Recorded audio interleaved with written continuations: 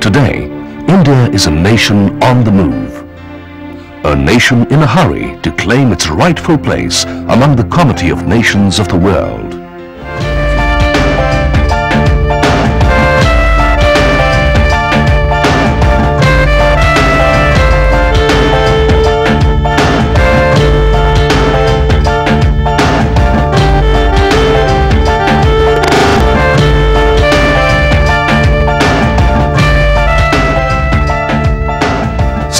Majestically on the launch pad to lift off, the Polar Satellite Launch Vehicle, PSLV, the prestigious rocket of the Indian Space Research Organization, symbolizes the hopes and aspirations of the modern, resurgent India. As tall as a 18-story building, the PSLV weighs an awesome 300 tons, of which more than 80% is propellants alone. The power of the PSLV can be gauged from the fact that the first stage alone burns over 180 tons of solid propellant in less than two minutes. Ten, nine, eight, seven, six, five, four, three, two, one. Now, plus one, two, three, four, five, six, seven, eight, nine, ten.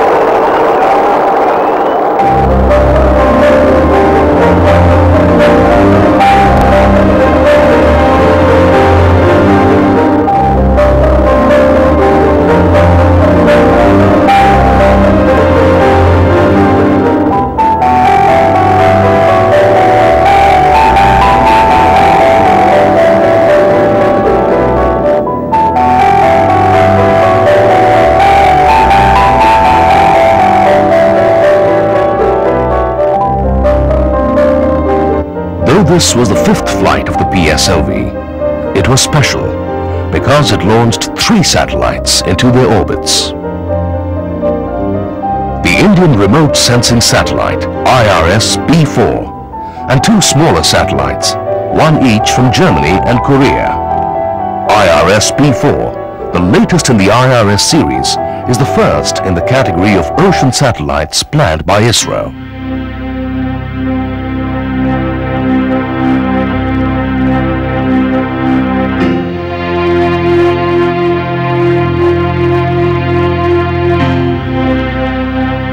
Ocean satellites? Because oceans occupy the larger part of the Earth's surface, influence weather, and possess resources that are largely untapped.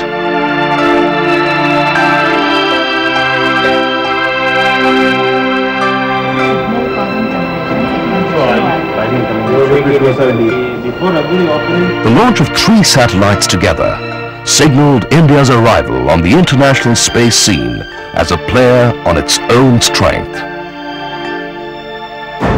Commercial activities of ISRO began when an American company, Space Imaging, started marketing the imageries of the Indian remote sensing satellites. This was followed by the lease of some transponders on board its INSAT series of communication satellites to Intelsat, a world leader in satellite communications.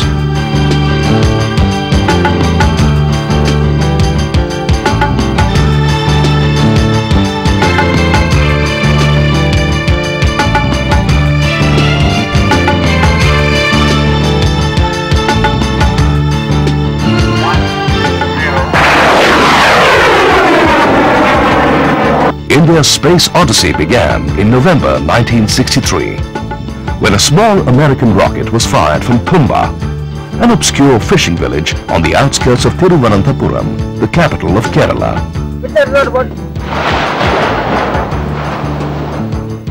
The man who persuaded the international community, including bitter adversaries of the Cold War, to join hands to establish the Thumba Equatorial Rocket Launching Station was Dr. Vikram Sarabhai. It was he who drafted the future course of the Indian space program for later decades to follow.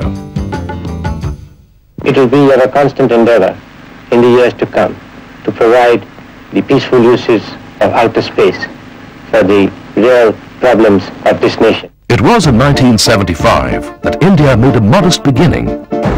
This was a full five years before ISRO could demonstrate its capability design and manufacture rockets that could put satellites into space. The idea behind this leapfrogging was to harness available space technology even before ISRO had developed its own infrastructure and capabilities.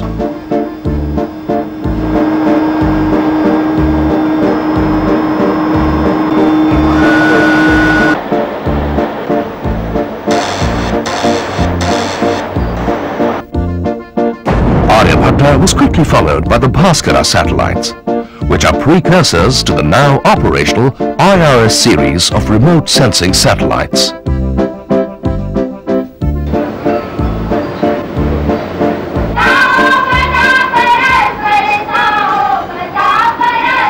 Ahmedabad Bombay Amar Singh ji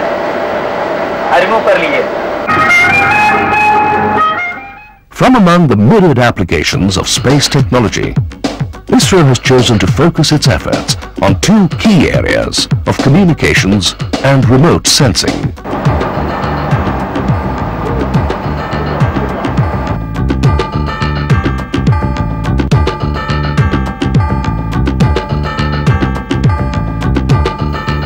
Adénage.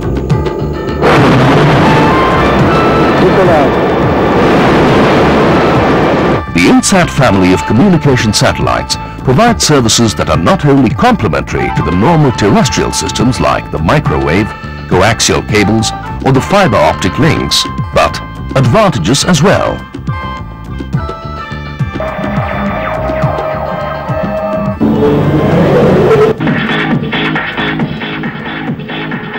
One area where these satellites have made a significant impact is in the area of national and international broadcasting.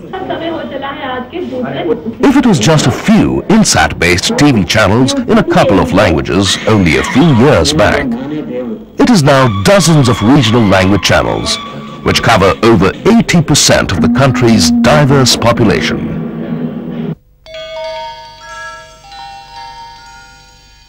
The INSAT system also continuously monitors the birth, evolution, progress and decay of cyclones. For the first time, we have a tool that can help prevent heavy loss of life, if complemented by rapid preemptive action. A detailed analysis of the movements of cloud vectors and other variables has turned out to be a boon to weather forecasters. తుఫాను హెచ్చరిక కేంద్రము వారు మద్రాసు ప్రమాద హెచ్చరిక కేంద్రము ద్వారా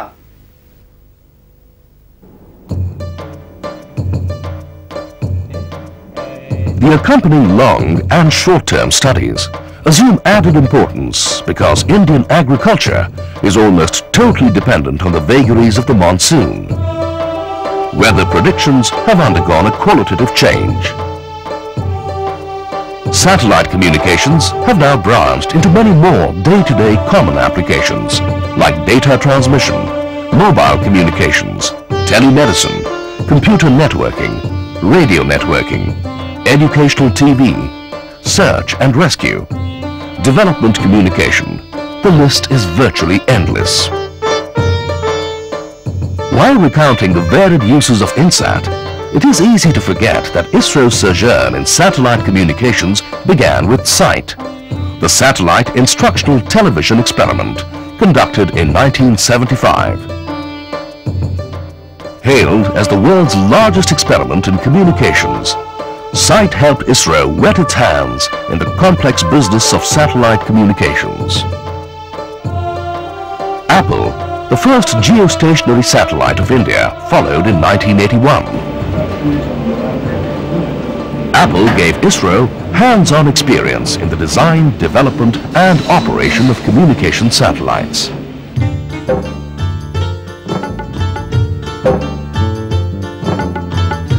If the INSAT system helps knit India into an integrated harmonious whole, the Indian Remote Sensing Satellites, the IRS family, help detect, assess and monitor the country's natural resources.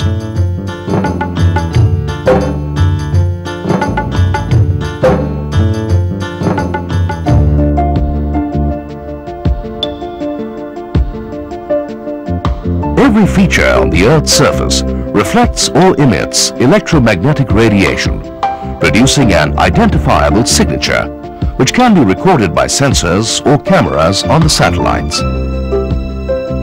The images thus recorded are computer processed to differentiate surface features. This is the basic principle of remote sensing.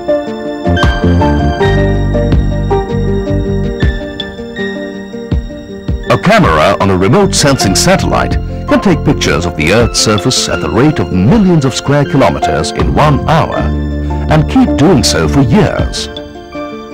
And remote sensing satellites return to the same spot on the ground within weeks.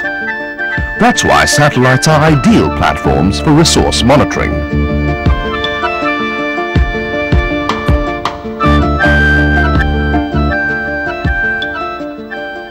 The imageries produced by the IRS satellites have found application in a staggeringly large number of areas, such as soil classification, agricultural crop yield estimates, biodiversity characterization, forest cover estimation, preparation of resource maps for land use, water bodies, grasslands, etc. They have also been used in drought assessment, detection of forest fires, oil spills, potential fishing zones, and so on. Man's greedy exploitation of nature over the years has led to the current sorry state of our environment. Ozone depletion, deforestation, decreasing biodiversity, and pollution of various sorts, and global warming the only long-term solution is to plan for sustainable development. Satellite remote sensing, when combined with geographical information systems, seems to offer us perhaps the only chance of planning for sustainable development. Between the period 1988 and 1999, ISRO designed, developed, fabricated and launched seven remote sensing satellites and five communication satellites, all of which reflect the state of the art. This feat alone demonstrates ISRO's mastery over satellite technology. If today the nation takes its telecom, TV, weather forecasting and remote sensing services for granted, it is largely due to the maturity and reliability of ISRO's satellite technology.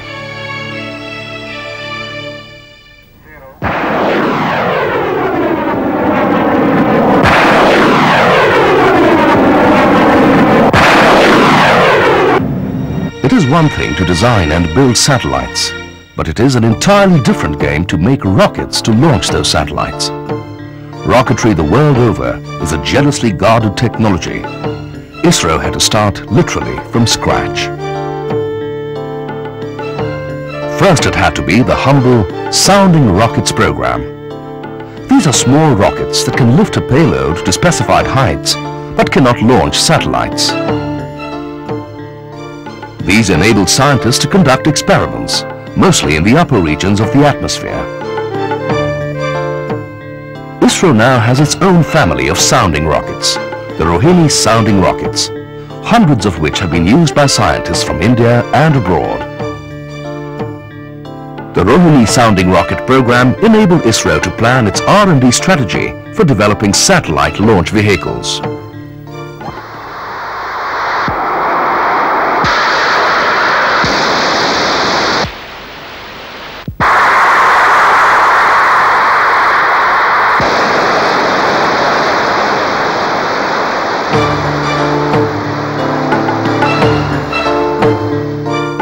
Compared to sounding rockets, launch vehicles are giants endowed with enormous propulsive power to hurl satellites into space orbits with enormous speed, something like 26,000 kilometers per hour.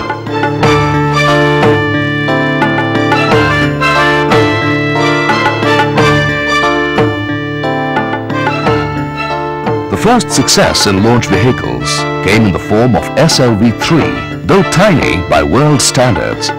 SLV-3 was a big step for ISRO.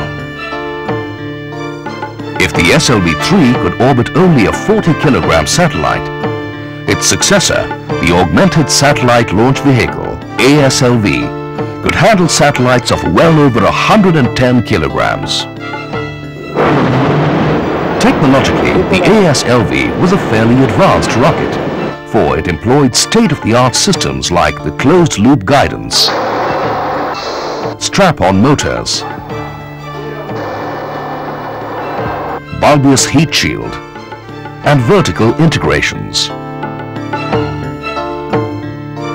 But the real demonstration of ISRO's mastery over launch vehicle technology came in 1994 when the PSLV successfully injected the operational Indian Remote Sensing Satellite IRS-P2 into a Sun synchronous orbit. Used as a launcher from Sriharikota, the PSLV can deliver a 1,200 kilogram satellite into a polar orbit.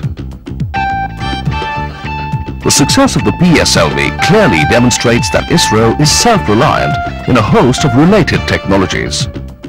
Propellant and propulsion technology, navigation, guidance and control, telemetry and telecommand, pyrotechnics, aerodynamics, etc.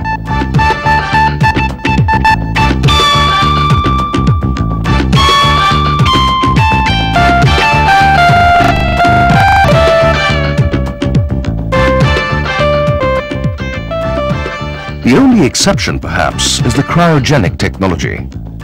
Even this lacuna will soon be filled when the Geostationary Satellite Launch Vehicle, GSLV, is launched.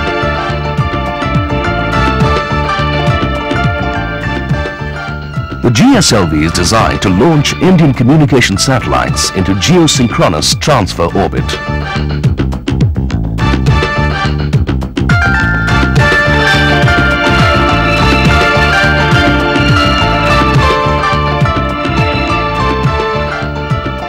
The entire infrastructure needed to produce, transport and use cryopropellants like liquid hydrogen and liquid oxygen, as well as to test cryo engines, has already been commissioned.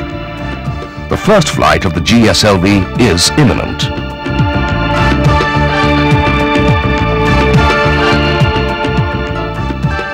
Till the advent of the PSLV, IRS satellites were launched from abroad.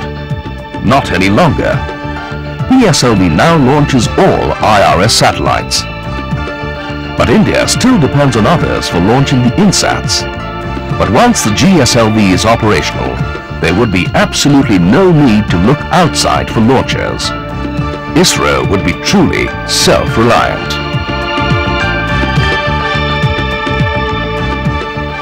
Though concerned mainly with space technology and its applications, the Indian Space Program supports fundamental research in a variety of subjects, astronomy and astrophysics, planetary atmospheres, earth sciences, atmospheric aerosols, solar physics, etc. Special facilities like mesospheric, stratospheric, troposphere radar at Gadanki in Andhra Pradesh are open to scientists across the country. Space, by its very nature, encourages cooperation. And India is at once a beneficiary as well as a votary of international cooperation in space. The very birth of the Indian space program at Thumba in 1963 was the result of international cooperation.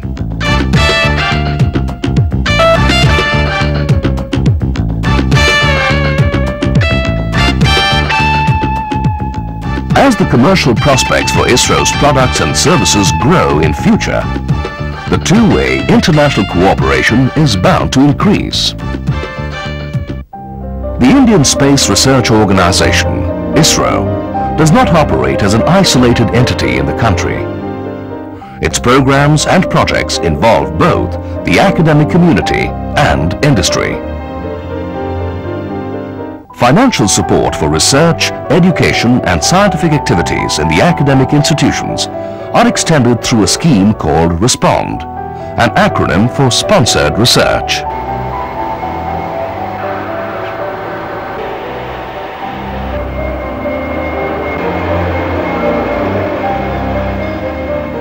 Whether it is know-how transfer or consultancy or utilizing industrial infrastructure, the cooperation between the space program and industry has been growing steadily. Counting both big and small, both in the public and private sectors, over 500 industrial units in the country actively contribute to the Indian space program. As we enter the new millennium, what does the future hold for the Indian space program? Where do we go from here?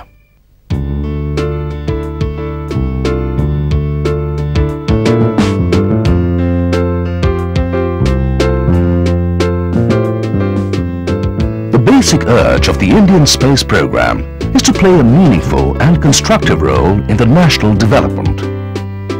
ISRO believes its efforts will surely succeed because of a unique asset it possesses. A committed group of professionals and workers for whom harnessing space for national well-being is an exciting adventure.